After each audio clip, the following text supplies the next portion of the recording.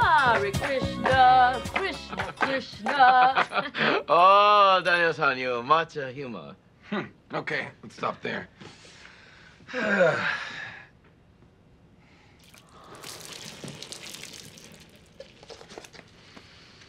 I'm not gonna hit you. And it's not because it's illegal. And it's certainly not because I'm afraid you know karate, because there is nothing about your performance that is believable.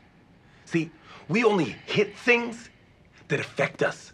I don't hit water, or old mayonnaise, or the air after a fart has dissipated. And I'm not hitting you! You are the worst actor I've ever directed, and I directed both Wahlbergs! From the top!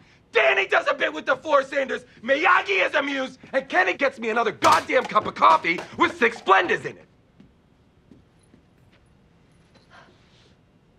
Hare Krishna. Give me some love,